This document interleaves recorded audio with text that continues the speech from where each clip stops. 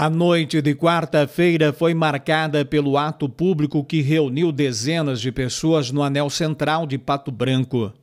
Amigos e familiares de Daiane Anastácia Ribeiro realizaram uma caminhada no percurso entre a Delegacia da Mulher e a Praça Getúlio Vargas, onde formaram um círculo e, de mãos dadas, rezaram pela paz. O ato pela paz e pelo fim da violência contra as mulheres foi um dia depois do anúncio da prisão do autor do assassinato de Daiane. Em entrevista coletiva na Delegacia da Mulher em Pato Branco, ele acabou sendo preso em uma abordagem da Polícia Rodoviária Federal no veículo Onix, na companhia de outras duas pessoas. Segundo a Polícia Rodoviária Federal, ele estava acompanhado por familiares e retornava de Curitiba quando foi preso.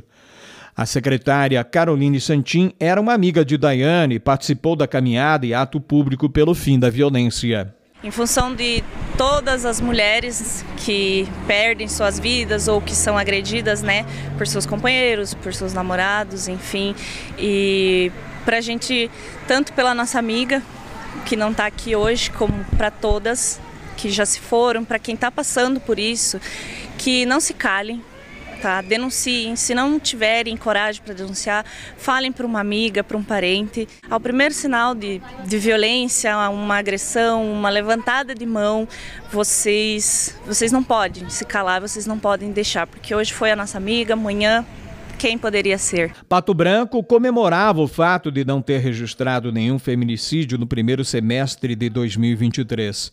A delegada da especializada em Pato Branco, doutora Keila Mafiodetti, celebrava no Dia Nacional contra o Feminicídio a estatística positiva de Pato Branco. É provável que enquanto a cidade bradava contra a violência, Daiane já estivesse morta em sua casa na zona sul de Pato Branco, vítima de uma violência abominável.